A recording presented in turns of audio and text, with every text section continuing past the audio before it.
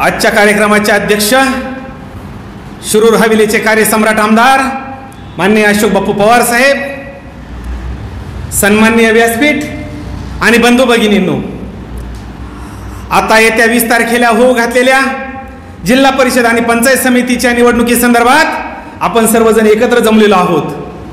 येत्या वीस तारखेला होणाऱ्या निवडणुकीमध्ये राष्ट्रवादी काँग्रेसचे जिल्हा परिषदचे उमेदवार अतुल खोमणे आणि पंचायत समितीचे उमेदवार राजेंद्र गदादे हे उभे आहेत. राष्ट्रवादी काँग्रेसच्या उमेदवारांना का निवडून द्यावं? याचं आदर्श उदाहरण म्हणजे आपले आमदार साहेब आहेत. आमदार साहेबांनी शिरूर हवेलीसाठी कोट्यवधी रुपयाचा निधी आणलेला आहे. साधारण मांडवनचा विचार केला तर मांडवनमध्ये जवळजवळ शंभर कोटीची कामं आमदार साहेबांनी केलेली आहेत. त्यामध्ये प्रामुख्याने रस्ते असतील पाणी पुरवठा योजना असतील लाईटची कामं असतील. तसेच आत्ताच एक तीस एकरामध्ये जो सोलरचा प्लॅन्ट उभा राहतो आहे नऊ मेगावॅट विजेचा जो प्रकल्प आहे त्यामध्ये प्रामुख्याने मांडवनसारख्या गावाला दिवसभर लाइट मिळणार आहे. म्हणजे शेतीसाठी दिवसभर लाइट मिळाल्यामुळे शेतकऱ्यांची मोठी अडचण सुटणार आहे.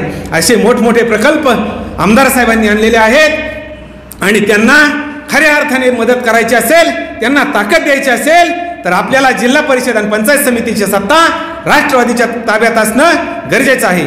त्यासाठी आमदार साहेबांना प्रचंड आमदार साहेबांनी जे दिलेले उमेदवार आहेत त्यांना प्रचंड प्रचंड मताने विजयी करावे. आणि येत्या वीस तारखेला होणाऱ्या निवडणुकीमध्ये घड्याळासमोरील घड्याळासमोरील बटन दाबून जिल्हा परिषद आणि पंचायत समितीच्या उमेदवारांना प्रचंड प्रचंड मताने विजयी करावे ही नम्र विनंती. जय हिंद जय महाराष्ट्र. जय जिजाऊ जय शिवराय.